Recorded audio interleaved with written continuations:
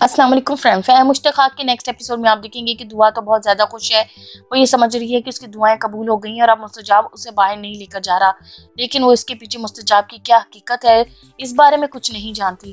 اسی خوشی میں دعا کے گھر والے فیئر پارٹی رکھتے ہیں، جس میں تمام رشتہ داروں اور دوست احباب کو انوائٹ کیا جاتا ہے۔ لیکن دائی پریشان ہے، آخر کوئی نہ کوئی وجہ ضرور ہے۔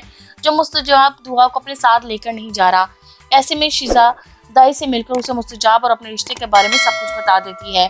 دوسری طرف دعا کی سہیلیاں اس کا مذاق بناتی ہیں کہ تم تو پہلے کہہ رہی تھی کہ تم مستجاب کے ساتھ باہر جا رہی ہو۔ اس بات پر دعا کہتی ہے کہ انسان کی فطرت ہی ایسی ہے کہ وہ محبت پر مجبور ہو جاتا ہے اور کوئی پیار سے بلوائے تو وہ دوڑا چلا جاتا ہے۔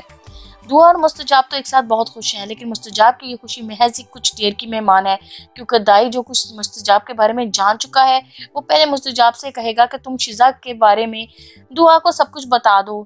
لیکن مستجاب انکار کرتا ہے تو دائی کہتا ہے، میں خود اسے بتا دوں گا، کیونکہ تمہاری بیوی رہے یا نہ رہے، میری بہن ہمیشہ رہے گی۔ اور اسے میں یہاں تمہارے پاس نہیں رہنے دوں گا کیونکہ وہ یہاں محفوظ نہیں۔